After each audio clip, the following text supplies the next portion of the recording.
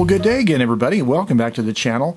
Well, as you might know if you've been following this series for a while, is I inherited this Royal 10 from my Aunt Pat, who passed away early this year in 2021. I've gone through the process of trying to optimize the imprint by matching this particular machine with a particular composition of typewriter ribbon that'll give the best quality imprint. Well, it doesn't take much thinking to arrive at the conclusion that if you have typing machines, writing machines that rely upon ink on paper as their output medium, that the quality of that imprint is really important to how you get along with that typewriter.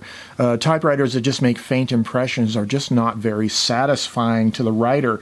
That's true, of course, with me as well, and that's one of the good reasons why I'm trying to optimize the imprint on this Royal 10. This was something that I had first discovered when I was trying to optimize the imprint on my Royal KMM and my Groma Kolibri, and I discovered that the Groma likes a cotton ribbon and the KMM likes a nylon ribbon. So those two typewriters, their imprints are pretty well optimal right now, and I'm happy with it. And Pat's typewriter, I had put a nylon ribbon in it. It was just a little bit too light or faint of an imprint.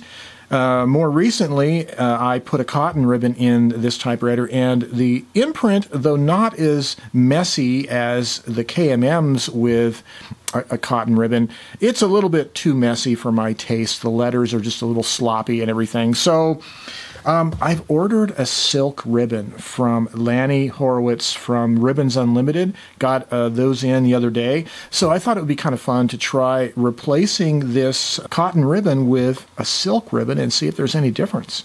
Stay tuned.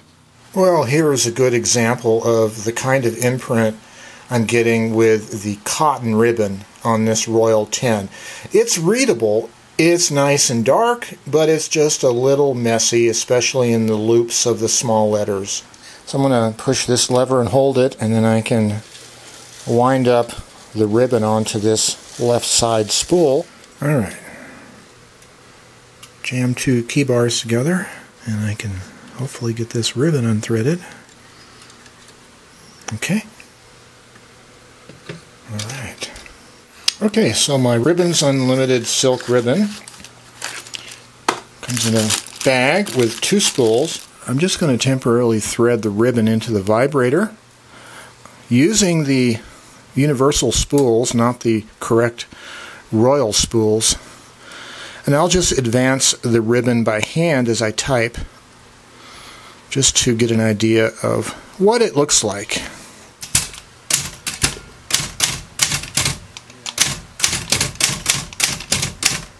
Well, I gotta say, it's nice and dark, but it is not nearly as sloppy as the old cotton ribbon was. It looks better. It looks pretty cool. I'm going to put this ribbon in. Let's do it. As far as your technique for winding on the ribbons and transferring them from one spool to another, I like Bob Marshall's uh, Speedy Spooler available through Typewriter Muse, or you can make your own little homemade version. This version uh, uses uh, two axles so you can spin both of them by hand or chuck them into a drill and make it a little bit quicker. And the third method is to use the unlocking lever for the ribbon advance and uh, go ahead and uh, turn it by hand on the machine itself. And again, if you want to save the plastic spools and reuse them, make sure you cut the ribbon at the hook. Don't try to pull it off the hook, otherwise you'll break the plastic hook. There you go. Okay, I'm going to start the new silk ribbon on the hook of the right hand ribbon spool. So here's the direction arrow for the left hand spool. So the left hand spool wants to turn clockwise, and the right hand spool needs to turn counterclockwise. It's tempting to want to use a hand drill for winding these ribbons, but really it helps to have an electric drill. The Speedy Spooler by Typewriter Muse, Mr. Bob Marshall, and you can operate the drill one-handed while operating this lever here, the other hand to free up the uh, free up the left-hand ribbon spindle on the Royal 10. Left-hand spool, right-hand spool, ribbon through the guide, like that. Set it to red, lift up two tight bars, and thread the ribbon onto the vibrator. I find the silk ribbons are a little trickier to put in because they're so flexible. They're they're not as stiff as nylon.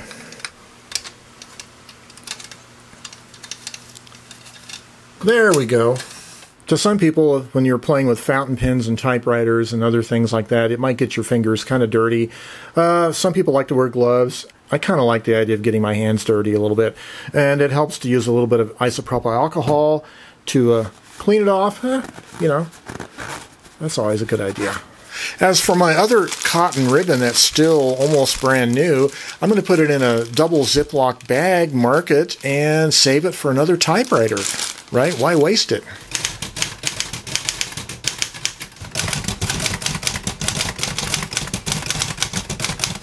Well, so here is the uh, cotton ribbon typing, and now this is the silk ribbon.